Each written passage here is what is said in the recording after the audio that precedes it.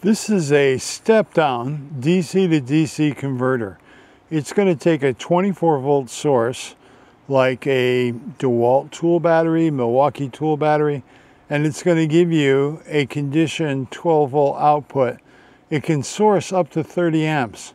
So it's very efficient at, at stepping that voltage down. And this unit is remarkably easy to install. It's also pretty easy to screw up. Um, you've got to you got to pay attention to the color codes here.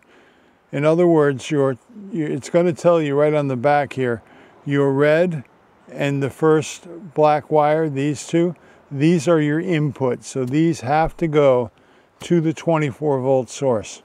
You want to make sure before you apply power to this that this is going to your input voltage and that the yellow and the black are your output. Now you can tie the two grounds together if you need to, that's not a problem. But these, the yellow and the red, definitely have to go where they're supposed to go. If you hook this up backwards, it's a one-way trip and uh, this unit won't be any good anymore. So make sure you don't make that mistake and don't ask me how I know that.